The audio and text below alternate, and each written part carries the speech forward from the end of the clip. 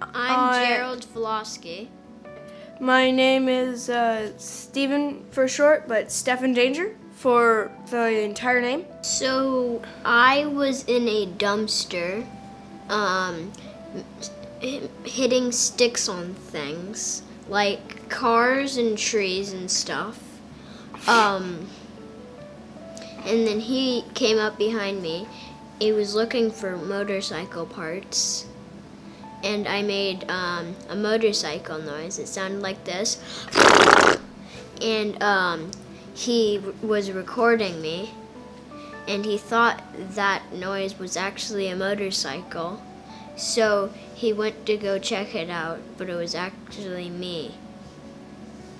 So, so then he asked um, if we wanted to make a website or a like soundtrack thing. Well, the moment I heard Gerald, I was like, I want to be a sound engineer. Is that right, Gerald?